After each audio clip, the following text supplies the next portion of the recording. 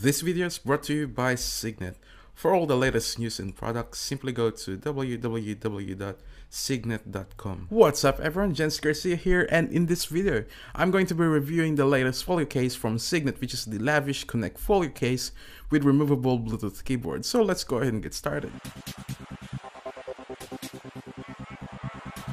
The folio has a slim design and is made out of high quality leather. At the front you can see the embedded Cygnett branding, which also has a leather finish. On the back is the stand on which you can adjust depending on your choice of angle. Now the interior has a soft finish to protect the back of your iPad from scratches and inside you'll also see the removable keyboard. The super thin and light 84 key QWERTY Bluetooth keyboard is also magnetically attached and has a leather finish. It does have a few buttons and a port on the side.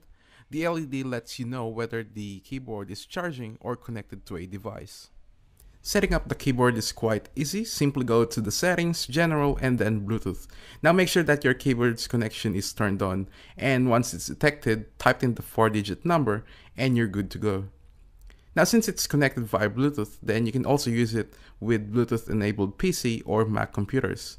It is powered by a lithium ion rechargeable battery which is enough to run the keyboard for a week depending on how much you use it.